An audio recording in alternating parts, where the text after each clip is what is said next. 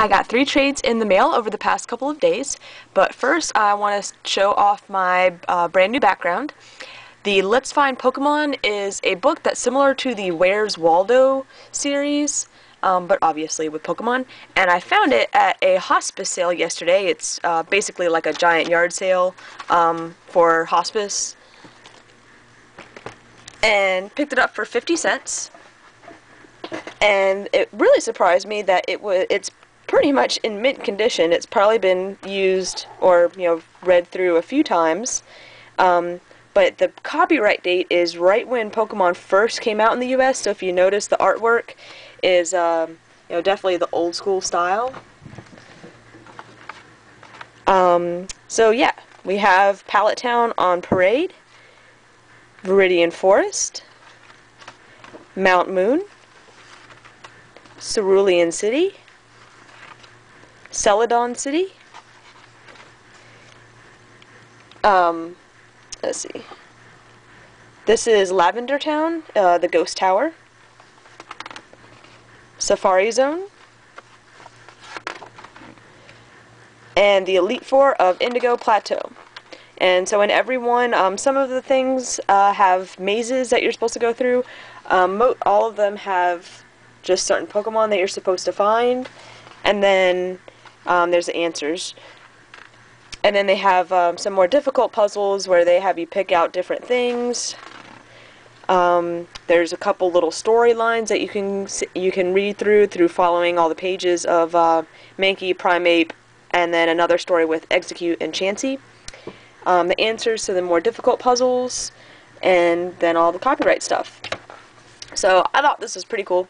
Um, definitely for 50 cents, well worth um, the pickup.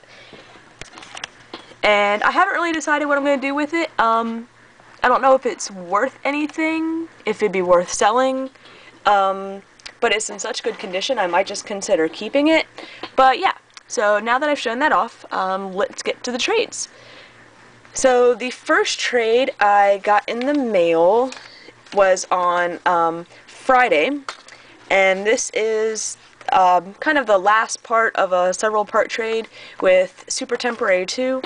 Um, basically, we made a trade. She had me buy some um, booster packs for her and open them, and then I traded her, her um, traded her for some things in there. Um, but the last card in our trade she had to send, and it just came in, and it is a Wobbuffet promo holo. So pretty excited about that. I've got several of the Heart Gold Soul Silver promos so far, um, but I haven't been doing a very good job of keeping up with them. Um, still need Latios and Latias, um, but I did find someone to trade me Cleffa and Smoochum, so that's pretty exciting. And as an extra, she sent a Manectric Rare from Arceus. So again, that is Supertemporary2, very trusted trader. And the second trade is comes all the way from the Netherlands, and it is um, Kabuto, Kab Kabuter Terror, and the note has a Pikachu, or sorry, Pichu, drawn, and the note says, Hey capeter3ncsu, thanks for trading me the Pikachu cards. They're a nice add to my collection. I hope the cards are in good condition when you get them. You're awesome. Uh, Linda kabouterterreur, and I can't remember if we traded back when I first started collecting on YouTube.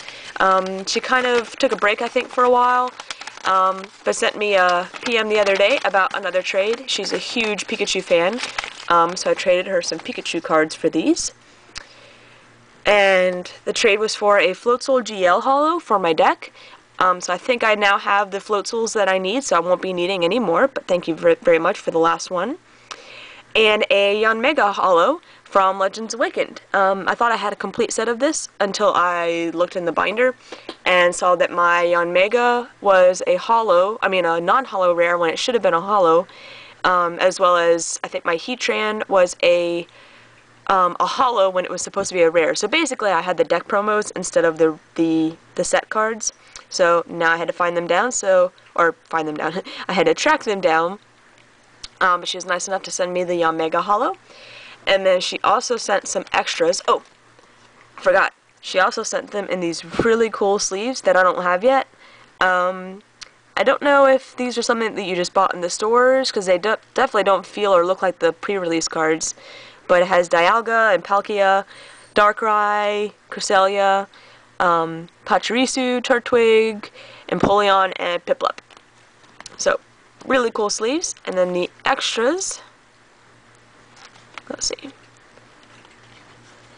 an Aipom, a Vulpix, a Teddiursa, and the best one, a rare Blastoise.